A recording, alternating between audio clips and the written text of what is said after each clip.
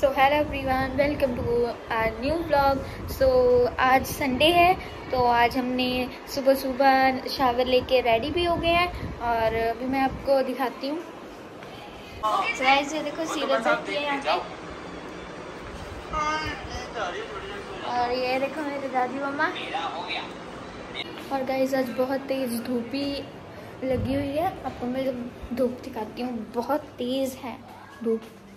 So guys आज आपको कुछ स्पेशल दिखाएँगे मेरा और सीरत का डांस और आप लोग देखना, बहुत ही अच्छा बना है।